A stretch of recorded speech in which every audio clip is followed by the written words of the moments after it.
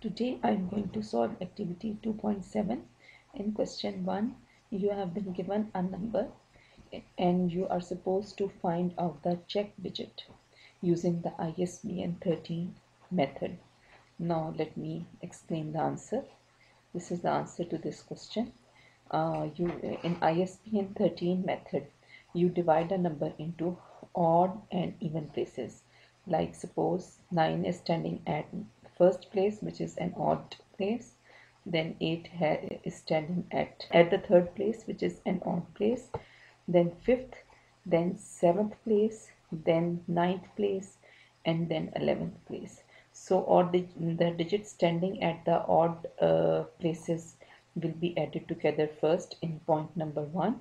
So I have added 9 and then 8 and then 5 and then 0 and then this 5 and then this 5 the answer is 32 in the second step what you will do you will uh, separate the even digits. This digit the digits standing at even places like 7 is standing at uh, place number 2 at place number 4 we have 1 at place number 6 we have 1 at place number 8 we have 4 at place number 10 we have 7 and at place number 12 we have 9 now we, we have added these digits together and and for the um, uh, and in order to comply with the formula we have to multiply the, these uh, numbers with 3 also.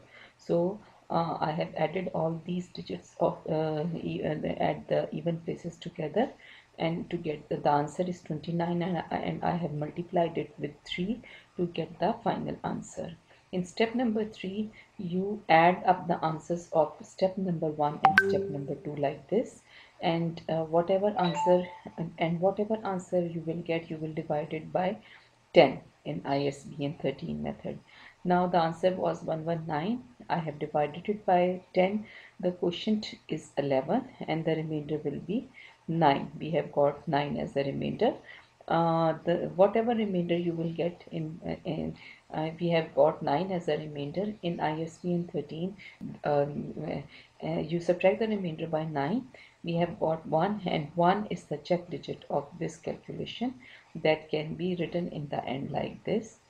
Uh, you can write you, that, can, that can be written in the end like this uh, to tell that this is the uh, check digit. Now let's move on to question number 2 in which you have been given two numbers and you have to calculate the check digits using both methods modulo 11 also and ISBN 13 also. So let me go to the calculation. For for the first number of question number 2 I have written the number and now I have started uh, solving it using the ISBN 13 method. You can see that I have divided the odd digits um, the, the number into odd places 1 3 5 7 9 11 and I have divided the number into even places.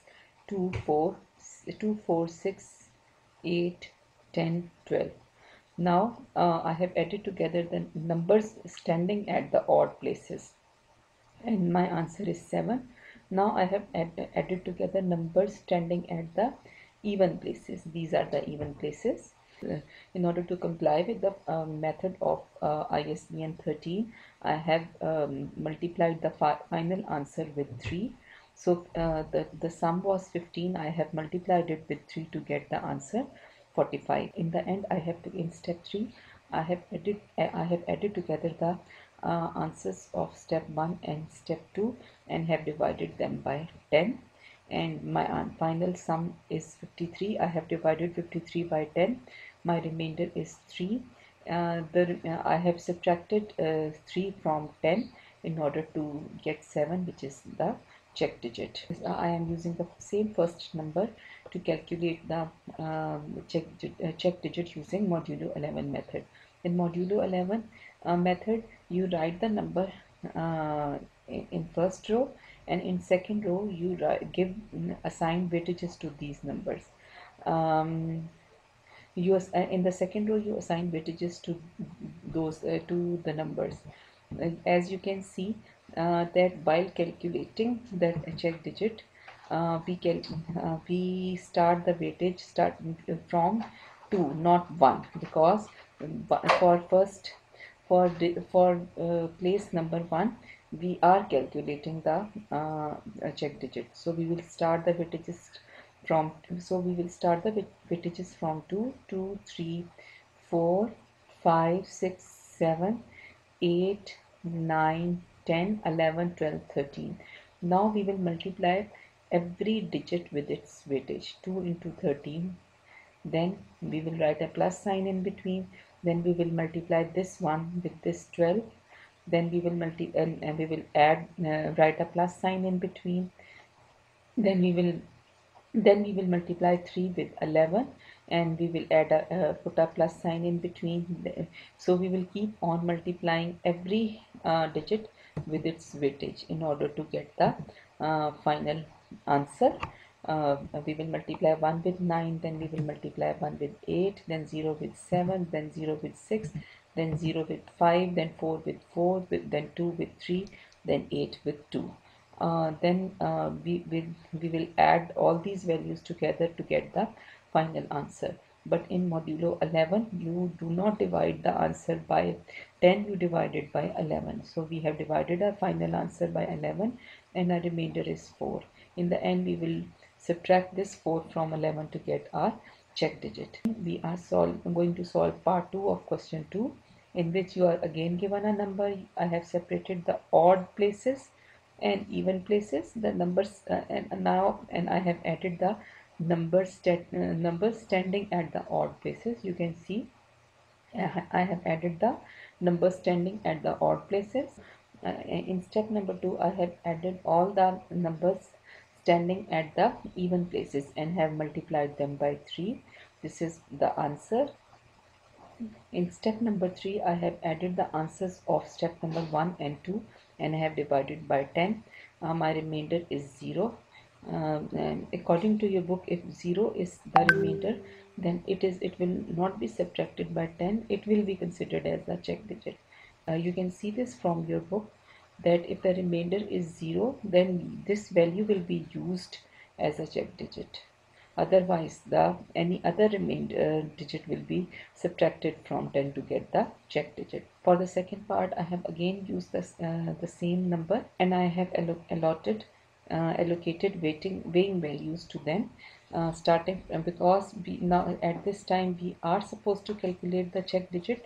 So we have uh, started assigning the weighing value starting from 2 um, because at number 1 we are supposed to calculate the uh, check digit now for step number 2 I am multiplying every digit with its weighing value.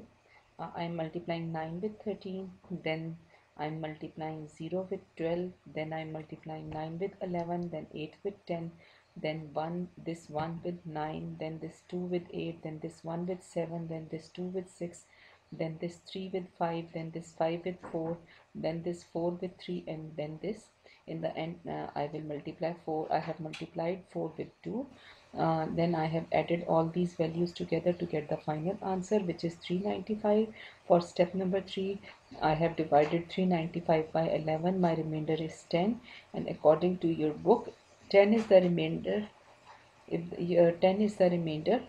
You, as you can see this from your book that if 10 is the remainder while calculating if, remain, if the remainder is 10 then the check digit x will be used.